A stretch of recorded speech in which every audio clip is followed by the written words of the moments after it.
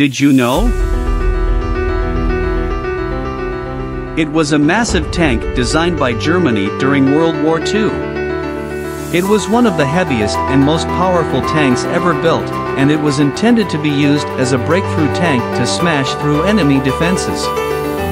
The tank weighed around 188 tons, a length of 33 feet, a width of 12 feet, and a height of 13 feet. The tank was armed with a 128mm KWK 44L-55 gun, with armor thickness ranging from 7.9 inches to 10.2 inches on the front hull and turret.